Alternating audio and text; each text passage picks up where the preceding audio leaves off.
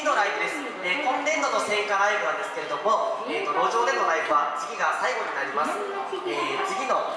日程が10月の26日日曜日のですね26日日曜日になります、えー時間は12時からファーステージ目、えー2時半から第2ステージ目となっております、えーまたプログラムも新しくなりますのでぜひ、えー来ていただきたいと思います。場所は同じ場所でやっております。そして最後に、えー晴らしいお知らせです。なんと私たち戦火の、えーコンサートホールデビューが決まりました。あー！えーと十勝プラザっていうあの都会えーと帯広駅の向かいにあるあの立派な建物ですね。あそこにクラシック専用のコンサートホールがあるんですけれども今回、はい、レインボーホールというホールなんですけども今回あの私たちの活動が認められて、えーちょっとコンサートを開くことになりました、えー日程は来年